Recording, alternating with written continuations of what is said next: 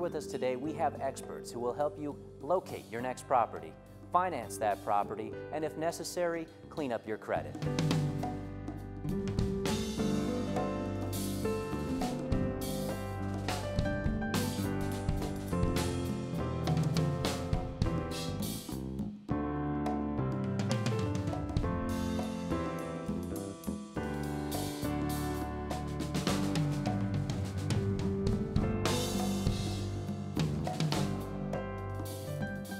Hi, welcome to Talking Real Estate. I'm your host, Brad Lewis, and here with us today we have experts who will help you locate your next property, finance that property, and if necessary, clean up your credit. Here with us first is Mr. Jeff Barton to discuss current market conditions. Here with us is Jeff Barton, and Jeff, some of our viewers and myself personally were curious, how are the current market conditions in real estate today? Thanks, Brad. Conditions locally and conditions nationally. You might hear that the entire country is going through a bad time and it's a terrible time to buy real estate. Locally, each market is different. In your market, you may see a lot of foreclosures, a lot of uh, repossessed homes. These are great opportunities for people who actually can qualify for a mortgage and can go and get the home. Fantastic. Thank you, Jeff. Well, as you know, on our show, we like to educate those who are in the market looking for a new piece of real estate today. So if you don't mind, we'll go to some of our viewers' questions now and we'll get some of those responses direct from you. Great. The economy is not so great. Is now a good time to buy a house? Now, see, that's a great question. Jeff, what would you say? Is today a good time to buy a home? Yes, it is. A couple things you got to remember though.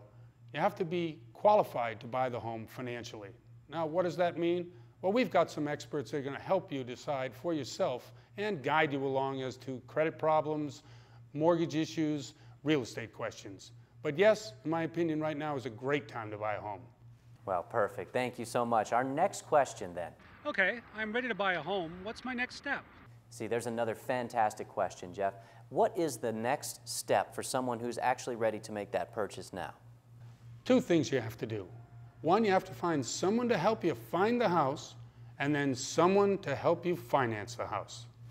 Very good. Now that actually instills a question to me because I've been through the process before, and, and finding the right person to finding you a home and also finding the right person to find the financing for the home equally challenging. Would you agree? I, I agree. And you know what?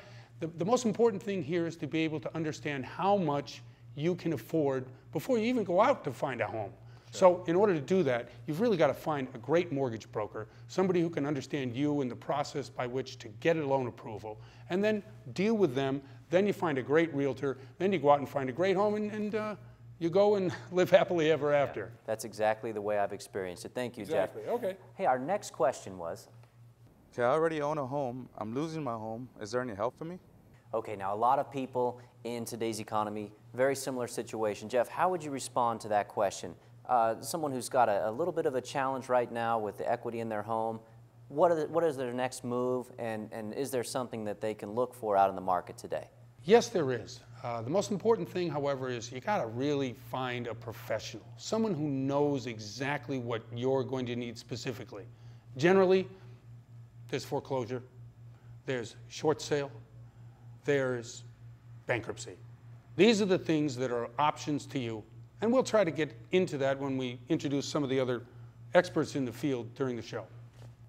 Fantastic. Thank you again, Jeff, and thank you for being with us here today on Talking Real Estate. Always a pleasure.